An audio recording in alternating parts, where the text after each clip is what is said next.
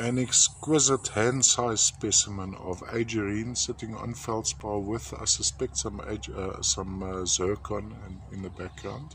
But I'd have to look at that under magnification. Beautiful form of these aegirines. Um, in this case, just focus on the reflections. There's a hell of a lot to look at on this specimen. So what we want to do, I want to show you the, the aegirine formation. So there's a whole lot of small crystals there. There's some bigger underlying crystals there. Um, section over here, look at that. And this is a hand-sized piece. So it's a rather large specimen. Um, from a, packaging point of view, I, I would suggest that you you don't add too many um, specimens to this parcel because we don't want to damage this fantastic, fantabulous structure.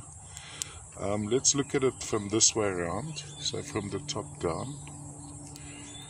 Um, so you even have some different uh, uh formations of the aegirine on here.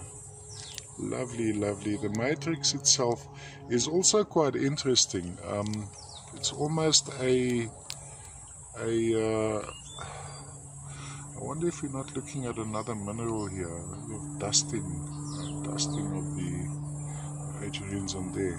Let's go around this way again. Across like that, look at that, look at that, quite exquisite and very bright lustrous specimen. All from the deposits of uh, Mount Malosa in Malawi in the Zomba Plateau. Aegirine quite likely uh, zircon and some uh, on a feldspar matrix.